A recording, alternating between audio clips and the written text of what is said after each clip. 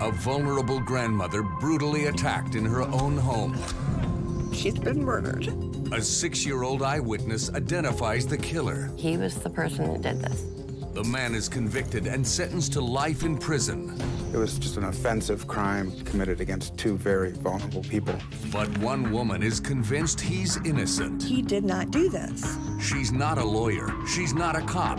She's the daughter of the murdered woman, the wife of the accused. How can that be? What the heck is going on here?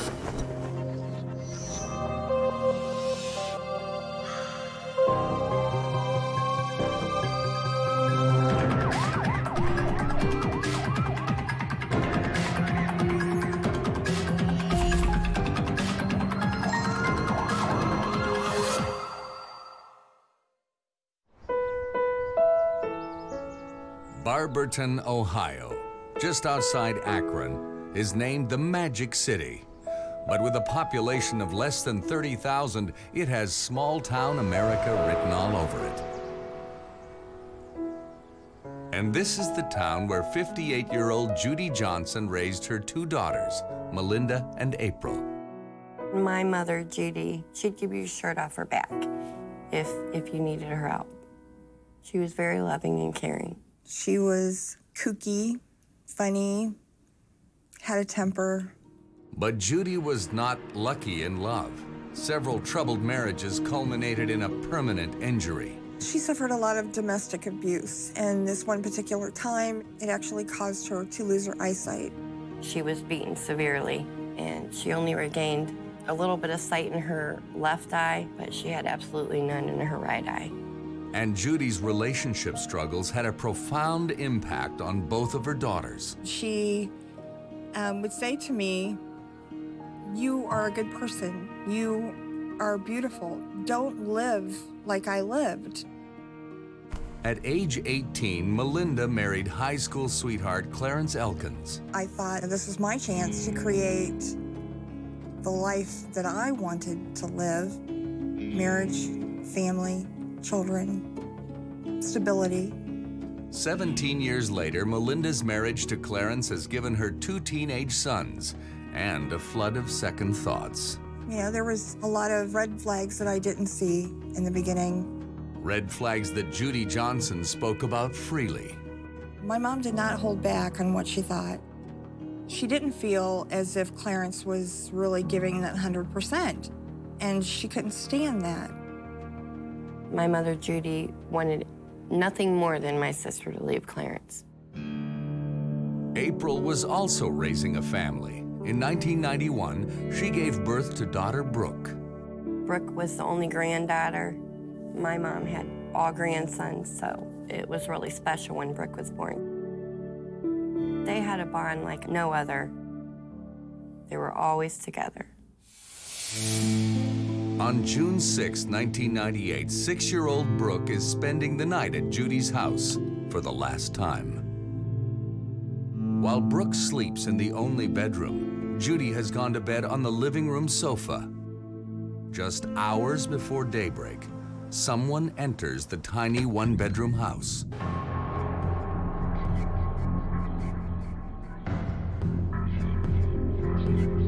She tries in vain to fend off the attacker. But Judy Johnson is beaten to death. Young Brooke is awakened by the noise. When she sees the intruder, she runs back to bed and hides, hoping he won't find her. But she's not so lucky.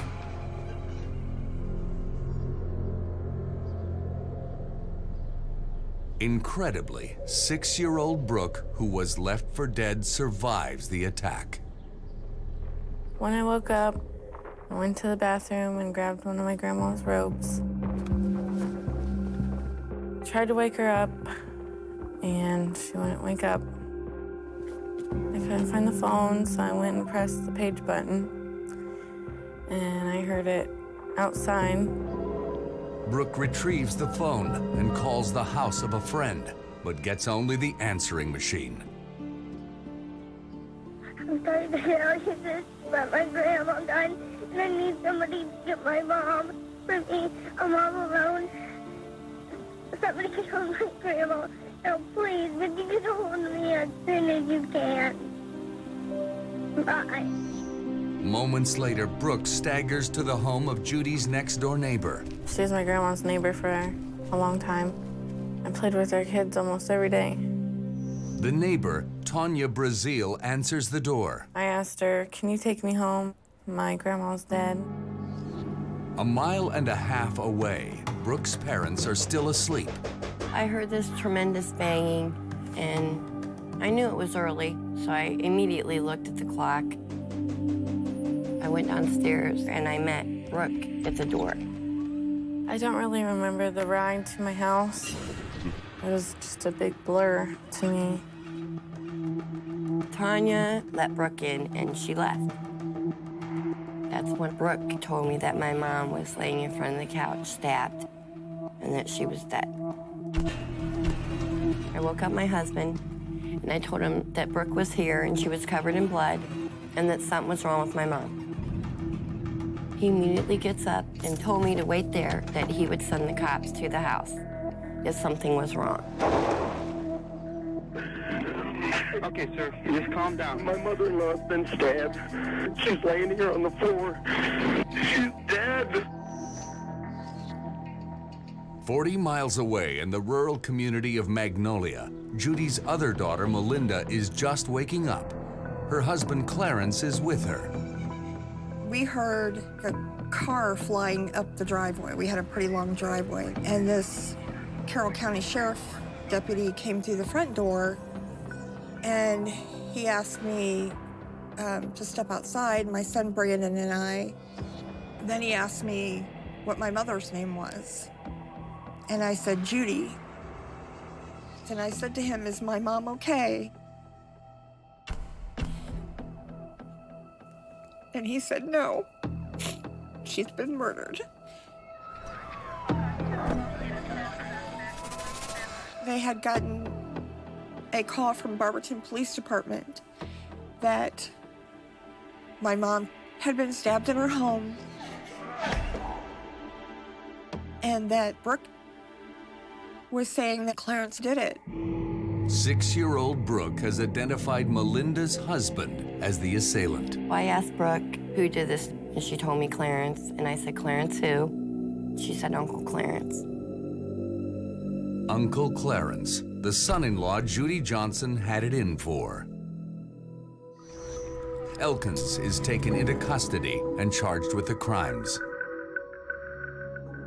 When word circulated as to what happened to Mrs. Johnson and to Brooke, the community was alarmed. It was a disturbing, hideous crime committed against two very vulnerable people. It was certainly a daunting investigation that this small town police department was about to undertake. Is Clarence Elkins the sadistic killer? He did not do this. How could you stick up for someone that just killed your mother? Or is the real murderer still at large? This was a killer who was totally out of control. Six-year-old Brooke Sutton has witnessed the brutal beating that killed her grandmother. She's also attacked, but miraculously survives. I need somebody to get my mom for me. I'm all alone. At Akron's Children's Hospital, Brooke is treated for her injuries and interviewed by police and social workers. She tells them what she told her mother, that the attacker was her Uncle Clarence, the murder victim's son-in-law. What the police had was a young child who was supposed to be killed but survived. She's an eyewitness to a crime and identified her uncle. She's seen the face often throughout her entire life.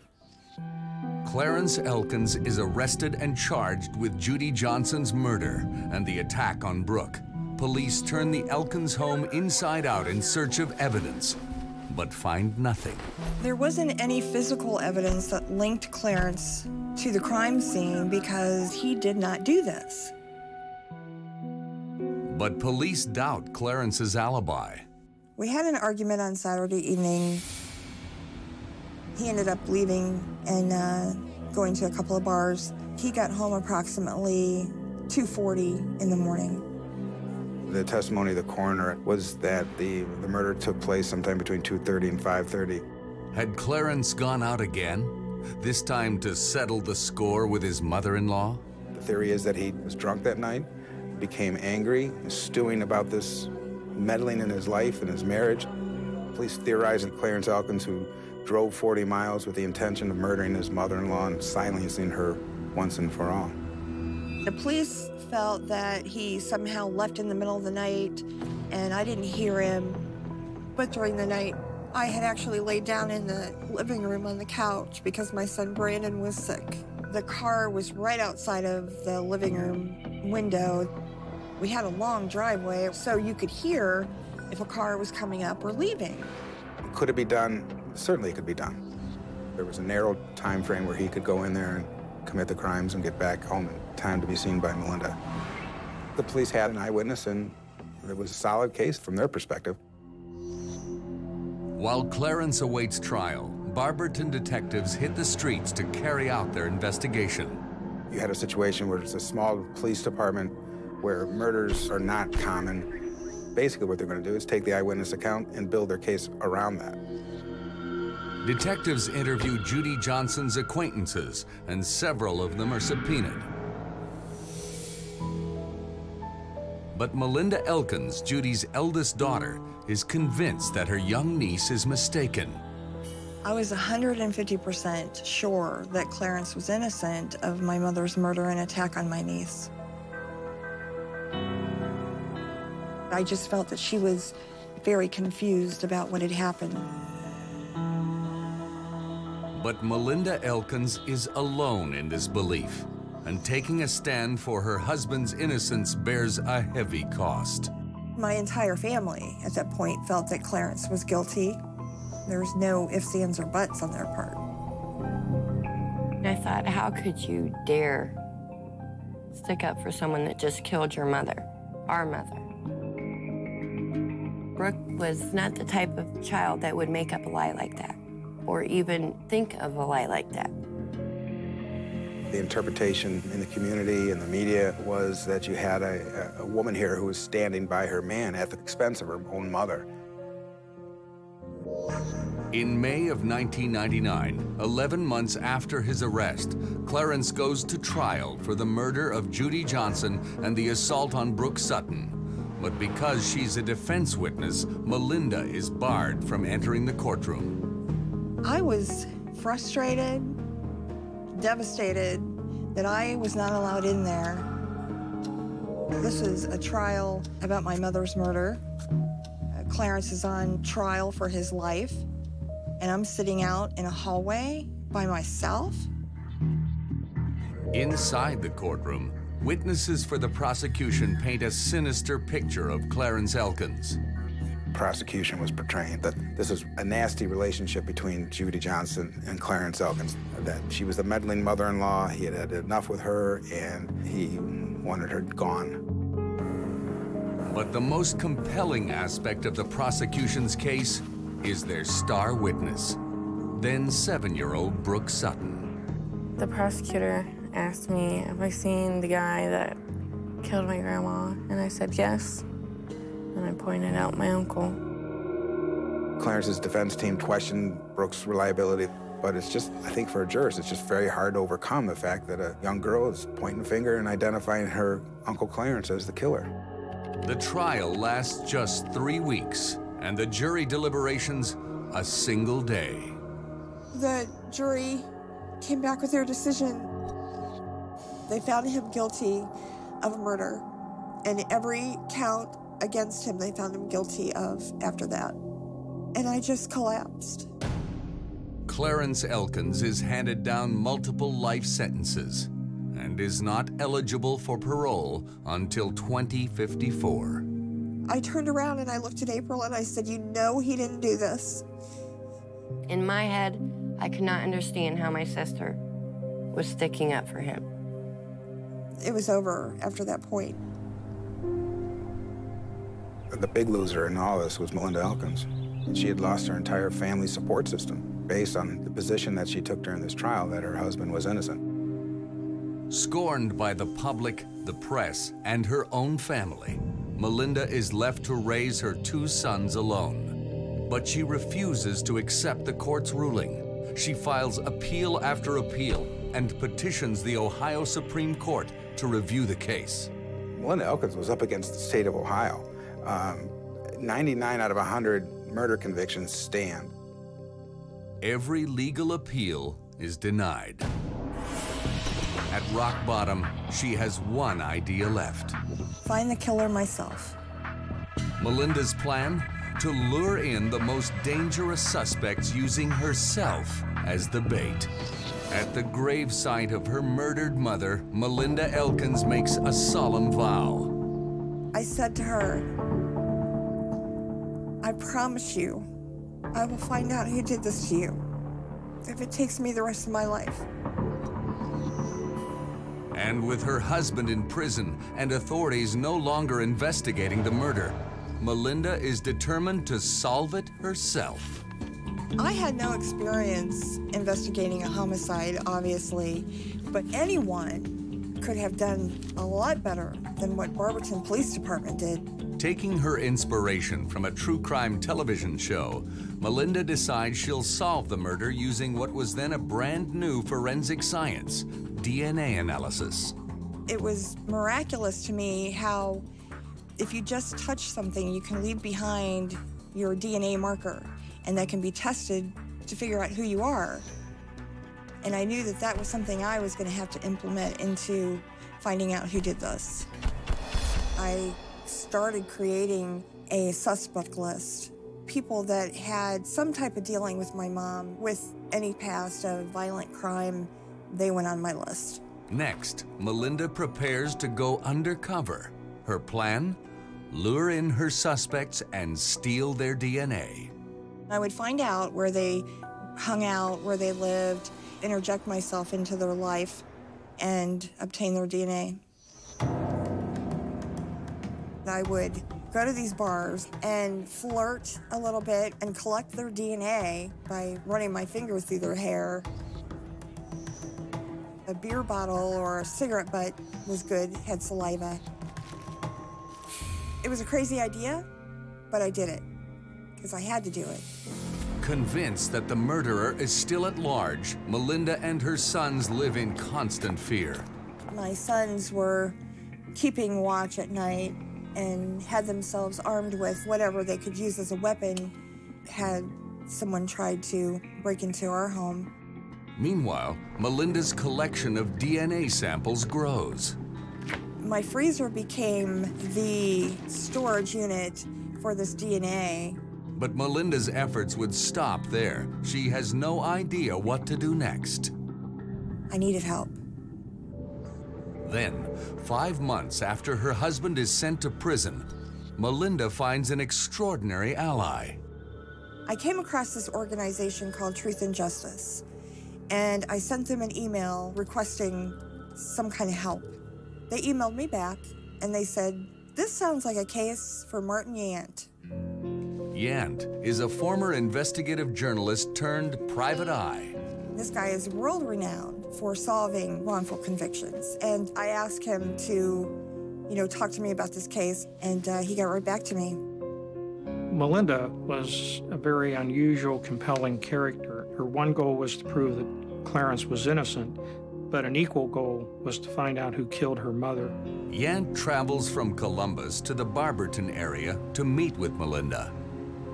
I usually try to go back to square one and see what caused investigators to go in one direction and perhaps see if they ignored other evidence or other avenues.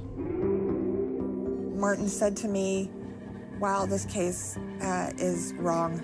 There was just simply no real consideration that it was anybody other than Clarence. It's one thing for an emotional family to jump to conclusions.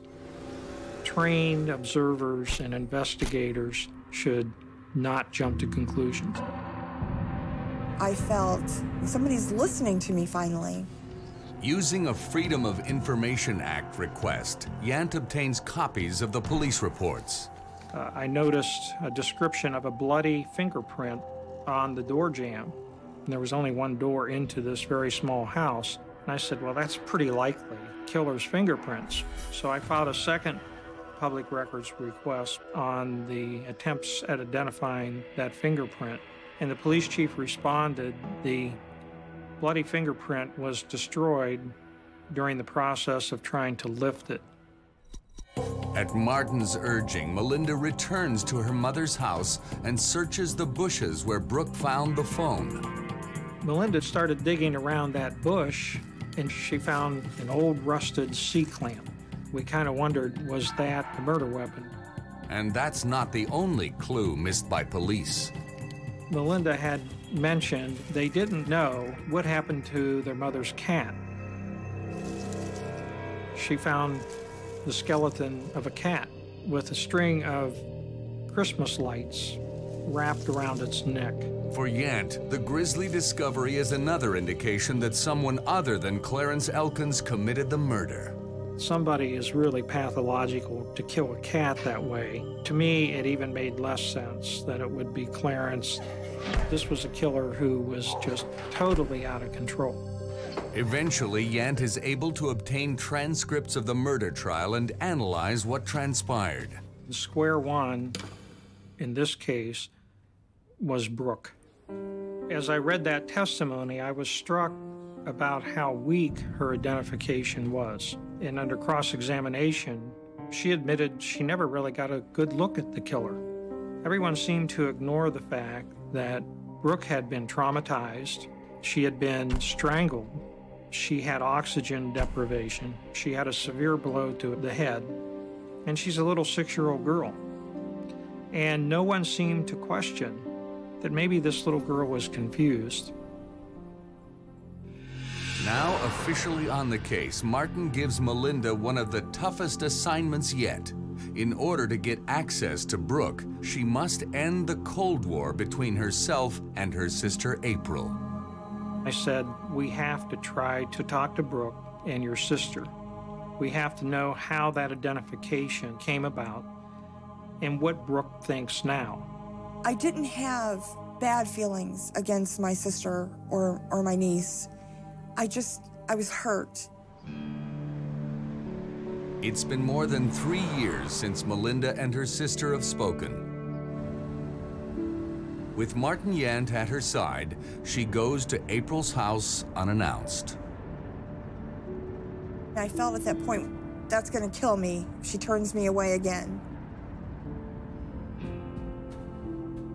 It was about three and a half years since I had seen my sister. She first turned away from me, and I thought, oh gosh. And she immediately turned around and just hugged me and cried.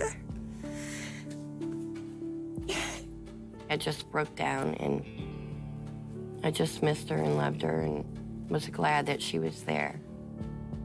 It was a very emotional moment. I kind of took Brooke aside and explained why we were there. When Martin asks the now nine year old Brooke about the murder, he gets much more than he bargained for. Martin uh, asked me if I was sure that Uncle Clarence did it. And I just kind of broke down and said I wasn't sure. She said, I was never really sure. And I said, What? She said, Yeah, I said that originally, but then I started having doubts and I tried to tell the prosecutors, and they kept telling me, No, no, no. We have all this other evidence about Clarence being a bad man. You're doing a good thing helping us send him to prison. I felt, you know, how how dare they use her and victimize her all over again? How dare they? It confirmed to me that this case had perpetrated an injustice and that a killer was still on the loose. And if Brooke needed any more evidence her uncle was innocent. I was looking at a picture of my Uncle Clarence, and I noticed that he had blue eyes. Brooke said, Mommy, it couldn't have been Uncle Clarence, because the guy that hurt me doesn't have blue eyes. He has brown. Brooke's revelation sends Melinda back to her suspect list. He really fit the profile. The hunt for Judy Johnson's killer is about to heat up. Melinda Elkins' search for suspects in the murder of her mother has had limited success.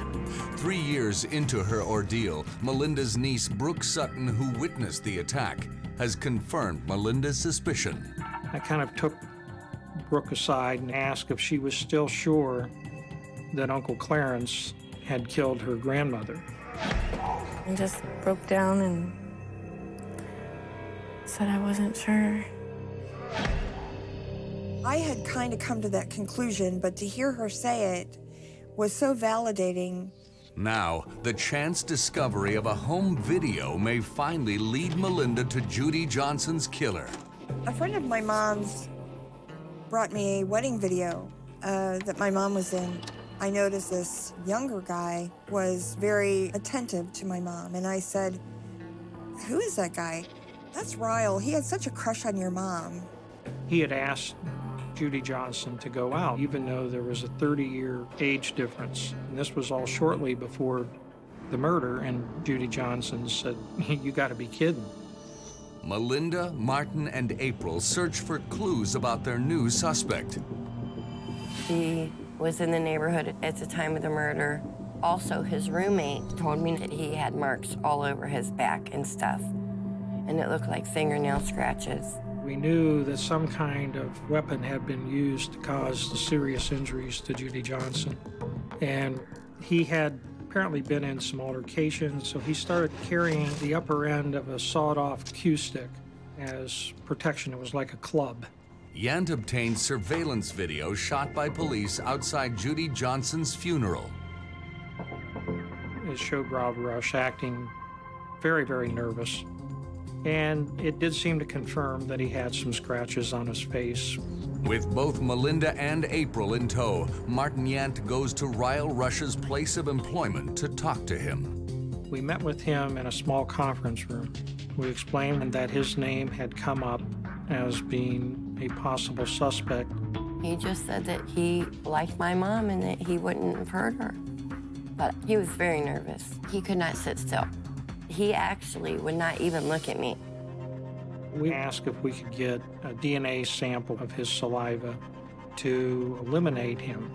He refused, which certainly just aroused greater suspicion.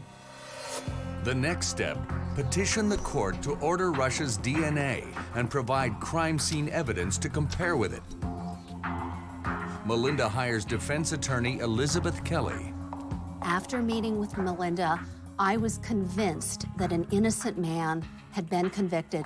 But once a person is convicted, all of the previous rights, that is to say, proof beyond a reasonable doubt, innocent until proven guilty, is thrown out the window. The burden is on him to prove that he is innocent. And reviewing courts do not take that standard lightly. Targeting the heart of the prosecution's case against Clarence, Elizabeth Kelly videotapes a statement from then nine year old Brooke Sutton. Do you think it was Uncle Clarence? At first, yeah. At first, yeah. But do you think so today? No. She basically said that she was mistaken and it wasn't Uncle Clarence. In May of 2002, nearly four years after the murder, Elizabeth Kelly presents their case to the same judge who tried Clarence Elkins. We submitted, with all faith and confidence, to the court that it was Ryle Rush, and certainly not Clarence Elkins, who had done this deed. It's kind of an eye-rolling moment. You know, here's this girl is, you know, years later, all of a sudden remembering eye color. The judge didn't believe the recantation. Prosecutors didn't believe it. And frankly, I think a lot of the public was not swayed by Brooke's retelling of the story now. Seven months later, another huge setback for Melinda.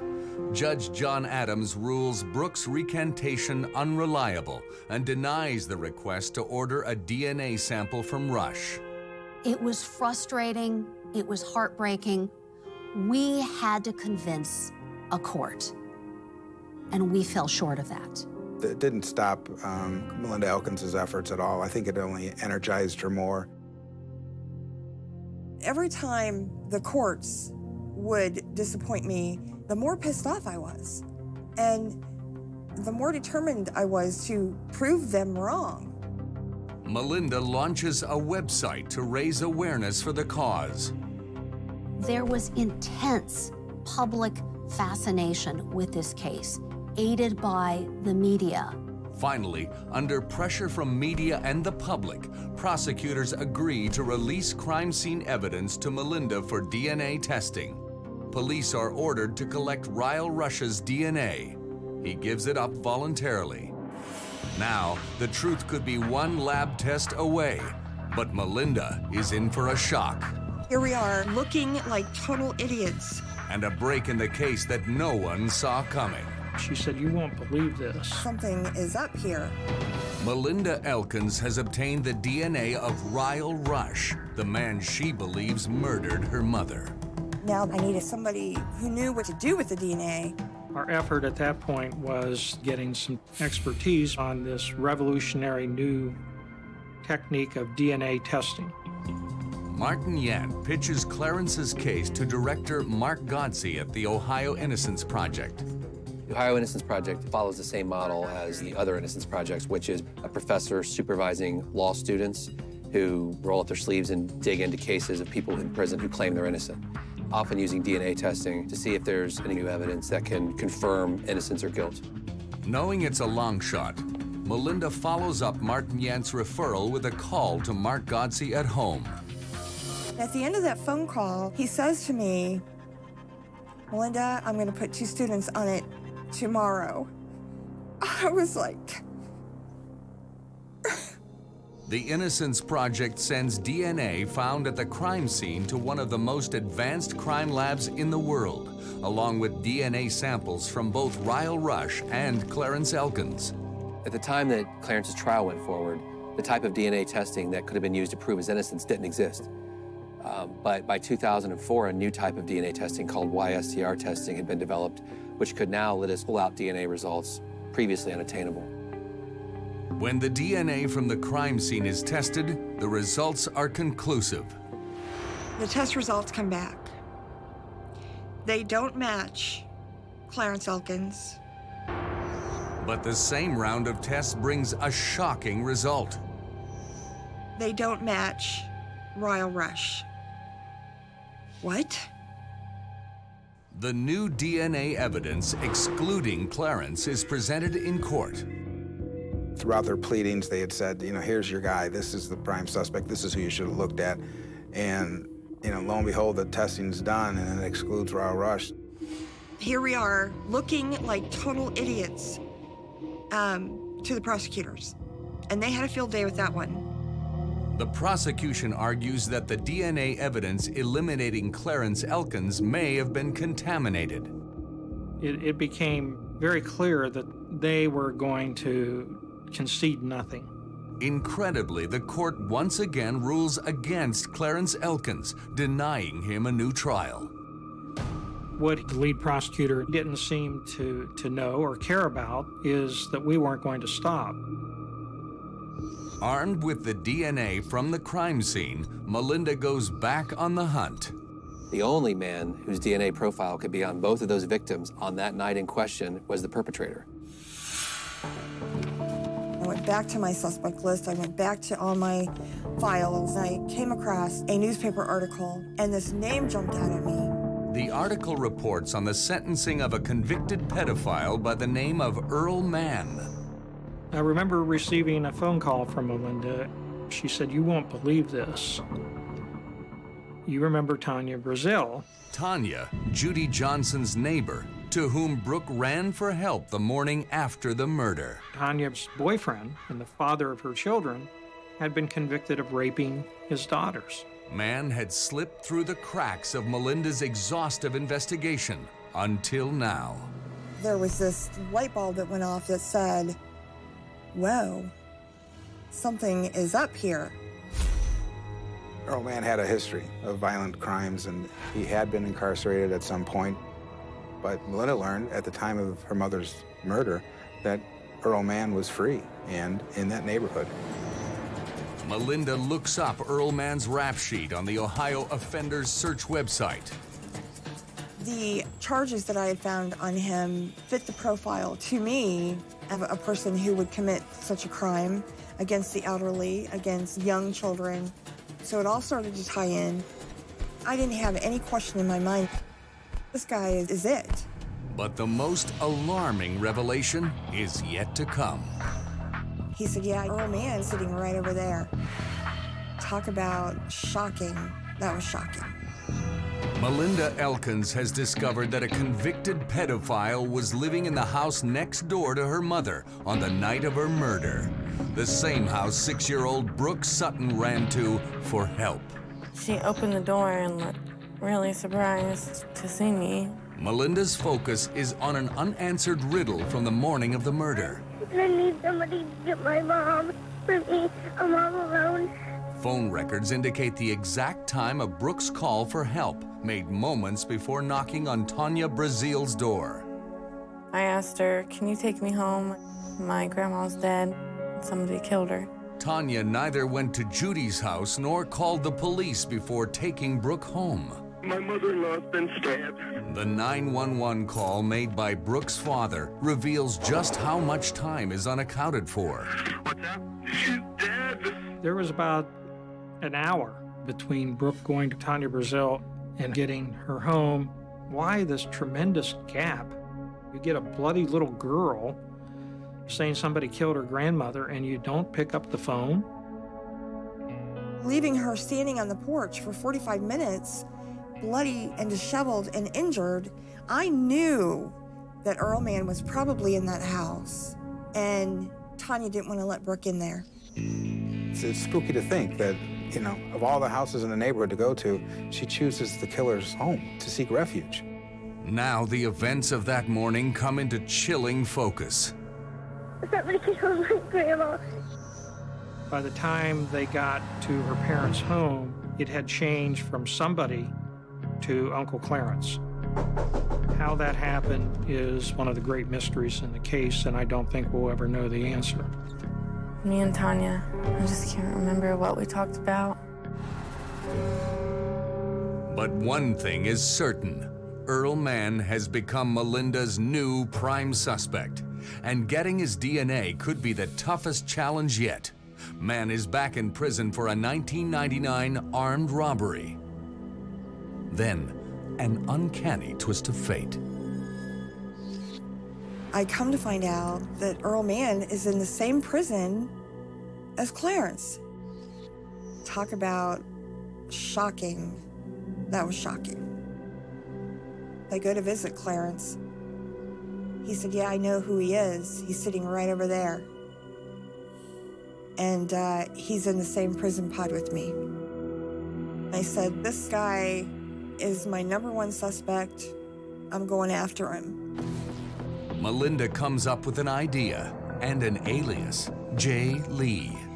I wrote him letters um, requesting him to be my pen pal. The whole objective was for him to actually send me a letter back and lick the envelope. If Earl Mann had licked an envelope, the lab would extract his DNA from the adhesive part that he'd licked. Never got anything back from him. Now, running out of options, Melinda and Clarence come up with a new plan.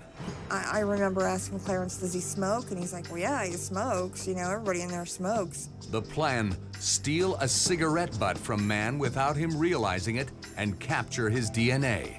Earl Mann is a violent man with a, a horrific temper. Had he known that Clarence was trying to gather evidence against him, certainly would have uh, retaliated.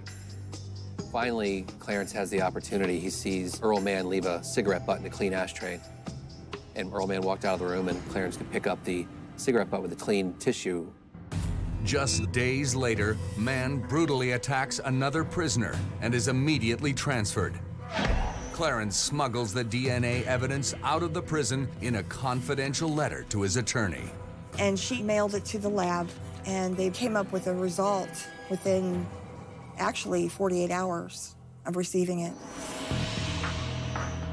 I'll never forget the day we got the call. Clarence's attorney says, Are you sitting down? The DNA from Earl Mann that Clarence risked his life to get has been tested, and the results are back.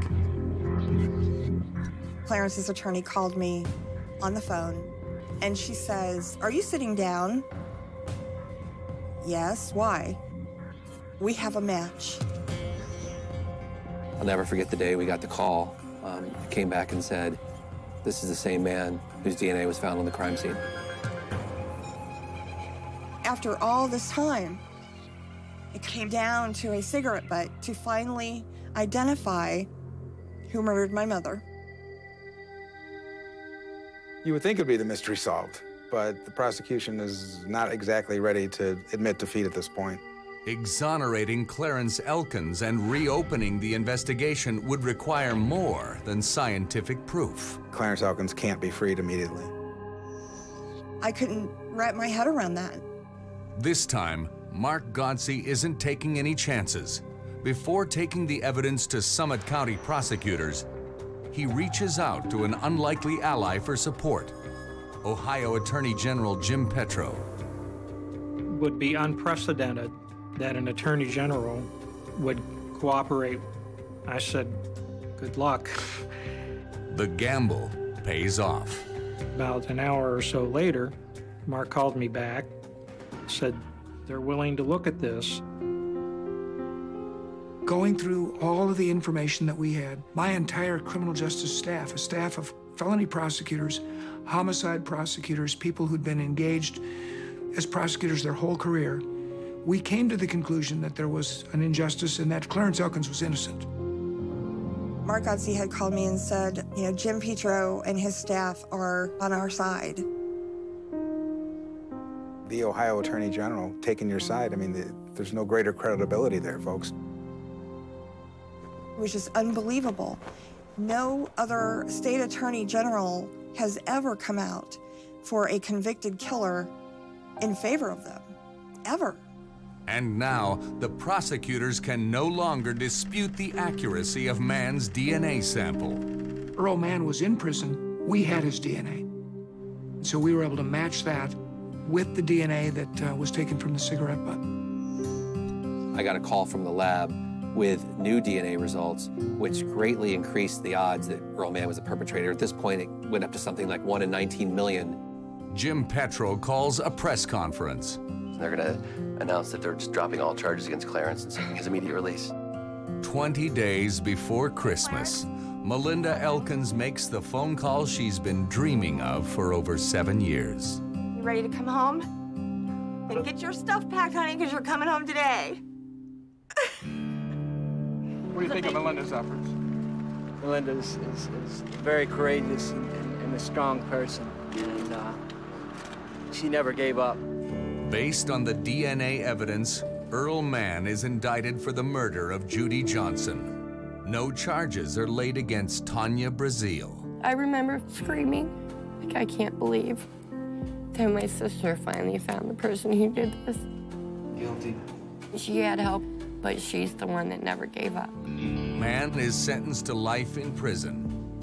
I think it was unfair and the prosecutors put me in the position that they did. I basically put my uncle in prison, but my uncle Clarence said he didn't blame me. Earl Mann was now convicted, but it was sad because the bottom line is my mom will never be able to come back. My mom's gone. Clarence Elkins would still be in prison today if it wasn't for Melinda. I can't emphasize enough how much I admired her courage and her tenacity. This was a, a, team effort, but the person who was at the center of it was Melinda Elkins. He's behind bars, but it still hurts that someone took my grandma away from me. I said to my mom, I promise you, I will find out who did this to you.